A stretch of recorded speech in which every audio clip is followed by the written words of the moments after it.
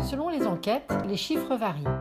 Mais en 2016, les recruteurs affirmaient utiliser dans l'ordre de priorité les sites Internet d'offres d'emploi, le service public de l'emploi, les candidatures spontanées, les réseaux sociaux.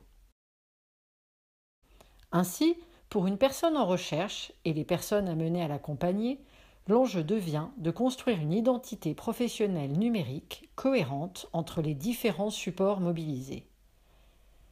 Les CV, qu'ils soient sous forme de fichiers numériques, texte ou en ligne, doivent contenir des informations non contradictoires et avérées. En effet, les recruteurs mobilisent Internet pour vérifier les informations fournies. Un tiers d'entre eux dit avoir déjà embauché un candidat grâce à des informations positives et également un tiers en avoir écarté un à cause d'éléments préjudiciables.